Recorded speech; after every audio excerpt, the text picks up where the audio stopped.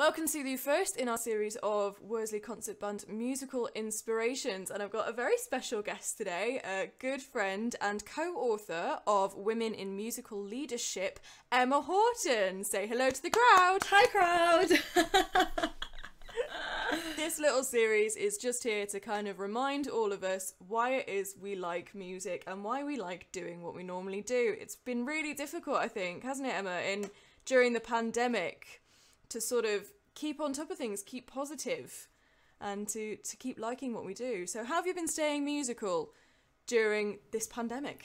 Yeah, so I think it has been tricky, but I think I'm always one of those people that you've just got to you've got to find the positives in everything and I think fine we were all put into this really really difficult situation and I think I've just to to stay musical I've just I've just reminded myself every day about why I'm a musician and why I chose this career path in the first place. Um, and just reminding myself that like our work is going to come back and life will come back, and just constantly reminding ourselves that this situation that we're in isn't forever.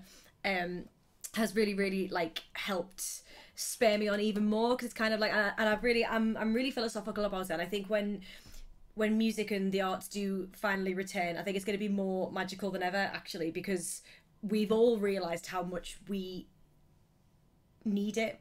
So when it comes back, I think it's going to be more magical than ever. So I think just remembering things like that has really helped um, keep me motivated and just made sure that I made music every single day. Yay, every single day. Can never stop. yes, exactly. I, I will never stop. never.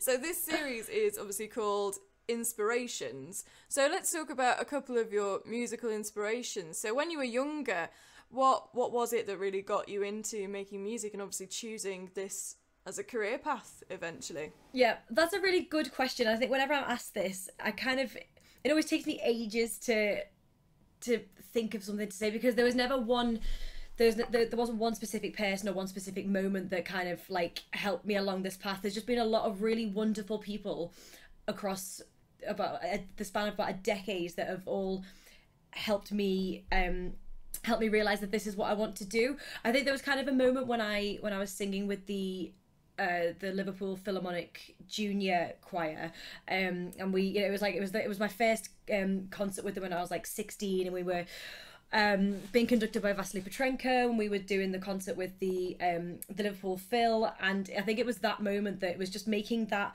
amount of magic on stage. I thought this is what I want to do for the rest of my life, and it was it was it was such a it was a wonderfully awe-inspiring moment and i think from there just having like really supportive parents actually just allowing me to do what i wanted to do and wonderful teachers at school fantastic professors at university they've all just helped me along this path yeah so it's been a really lovely journey Oh, that's really nice. That's really positive. it is me. I like it when that happens. Yeah, yeah. So obviously nowadays you are a professional clarinetist. Uh, obviously, I know you best as a pit musician. Uh, that's where we uh, met, and so this is now what you're doing. How would you say those inspirations have sort of changed over the years? Has it become more towards one genre of music making that's really inspired you to keep going, or is it just the diversity of it that you've enjoyed? That's a really, really interesting question. And I think for me, it's always been the diversity. And I think I've always said to. I've always said to myself and to lots of people that what I love about this job is that it is such a multifaceted career. Um, and, you know, the 21st century musician is very much one that builds uh, a portfolio career. Um, and that's and that's the way it is, and that's great. And I think if you can enjoy every every facet and ev- enjoy every part of the journey that makes it really really exciting because then because you i don't know like you might try one style one one part of the job that you didn't think you were going to enjoy and actually it's life changing and you start you do that path for a bit and then you try a different path so it's it's very much a multifaceted career and i love all of it it's great. Absolutely. I think that was something I noticed I missed so much in Norway is just the incredible diversity of music making in Britain. It's it's unlike anything else. It really is. It's amazing. Yeah. It's funny, isn't it? Like, yeah, because sometimes you have to take yourself out of it before you um before you appreciate that. But you're back now. Absolutely. You you need to lose something before you know what you had. That's yeah. what's that from? That's from some god awful rom com probably, isn't it? So, obviously, our third question is give yourself a piece of musical advice. And this is obviously uh, modelled slightly on one of our shared passions of RuPaul's Drag Race. Obviously. the advice for a younger you. What would you? What advice would you give yourself? The piece of advice I would give myself is to just always follow your gut. And that's it. Because there will be a lot of people that try and tell you otherwise, and a lot of people that think they know better than you. They don't. You know what you want to do, just do it. That's a brilliant bit of advice. So I've cherry picked people for this little series that I know have experience with wind bands, and you run a wind band as well. So, what if you picked a piece for wind band?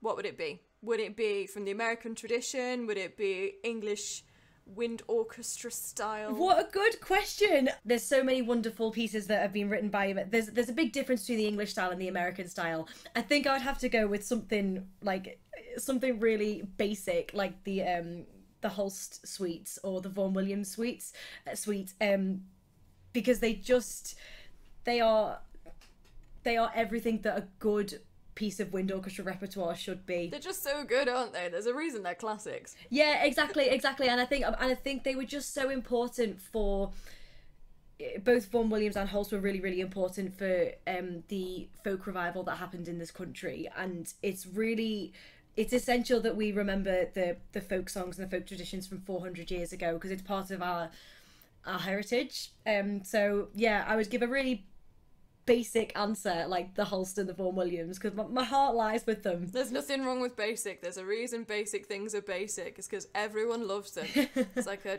caramel yeah, latte. yeah, It's a exactly. good reason that it's good. it's because it's got sugar in it.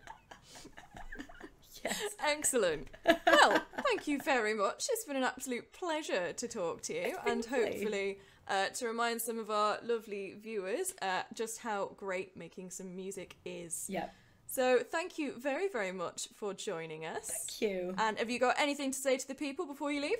Um, music's great and the arts are brilliant and we have to save the arts and we need to do everything we can to make sure that the arts are saved in this country.